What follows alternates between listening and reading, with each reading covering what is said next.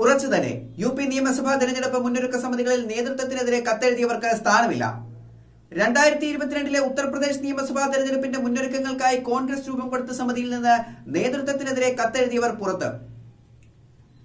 നേതൃത്വത്തിനെതിരെ സോണിയാഗാന്ധിക്ക് കത്തെഴുതിയ ഇരുപത്തിമൂന്ന് നേതാക്കളിൽ ഉൾപ്പെട്ട ജിതിൻ പ്രസാദ് രാജ് ബബ്ബാർ തുടങ്ങിയവരാണ് സമിതികളിൽ നിന്ന് പുറത്തായത്.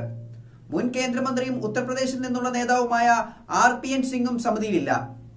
ചൈനീസ് കടന്നുകയറ്റം സംബന്ധിച്ച പാർട്ടി നിലപാടിനോട് ആർ പി സിംഗ് വിയോജിപ്പ് പ്രകടിപ്പിച്ചിരുന്നു. ഉത്തർപ്രദേശിന്റെ ചുമതലയുള്ള A C C general secretary Priyanka ഗാന്ധിയോട് അടുപ്പമുള്ള നേതാക്കൾ പട്ടികയിൽ ഇടം പിടിച്ചിട്ടുണ്ട്. ഞായറാഴ്ച രാത്രിയാണ് കോൺഗ്രസ് ഹൈക്കമാൻഡ് സമിതികൾ പ്രഖ്യാപിച്ചത്. ഗുലാബ് നബി ആസാദ് കപിൽ സിബൽ ശശി തരൂർ മനീഷ് തിവാരി എന്നിവരടക്കം ഇരുപത്തിമൂന്ന് പേരാണ് നേതൃത്വത്തിനെതിരെ കത്തെഴുതിയത്. ഇത് മാധ്യമങ്ങൾക്ക് ചോർന്നത് ഏറെ വിവാദം സൃഷ്ടിച്ചിരുന്നു. കത്തിൽ ഒപ്പിട്ട ജിതേന്ദ്ര പ്രസാദെ പുറത്താക്കണമെന്ന ഉത്തർപ്രദേശിലെ ഒരു ജില്ലാ കമ്മിറ്റി പ്രമേയം പാസാക്കിയിരുന്നു.